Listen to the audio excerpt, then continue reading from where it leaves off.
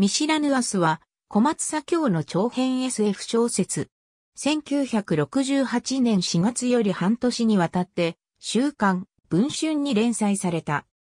当時、中国は文化大革命の最中であり、未だ国連には加盟していない日本から見て最も近くて遠い国であった。この時代を背景に中国奥地で始まる異星人とのファーストコンタクトを描くことにより、国家間の圧力や社会主義国の秘密主義など、人類社会の矛盾を描きつつ、人類の団結の希望も予感させる描写となっている。経文社が発行した大百科シリーズ112世界の怪獣大百科の小説の世界の怪獣たちの項で本作の敵宇宙人が巨大クラゲ獣と紹介されている。新聞記者の山崎は外信が伝える中国奥地の舞踏のニュースに内乱以上の何かの気配を感じ取った。折しもソビエト連邦への出張命令を受け、アエロフロート機でモスクワに向かう途中、彼の乗った飛行機は中祖国境で不時着してしまう。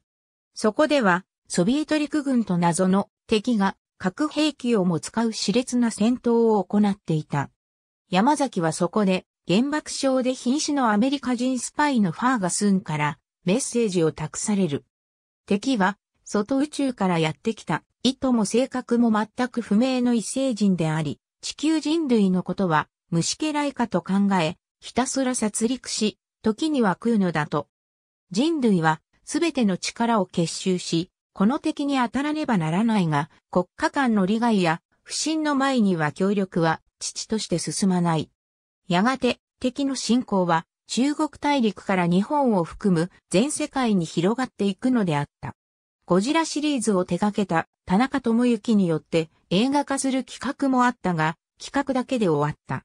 福田淳、染谷克樹、東方映画百発百中。映画監督、福田淳ワイズ出版 ISBN48 億9830万 634P151。ありがとうございます。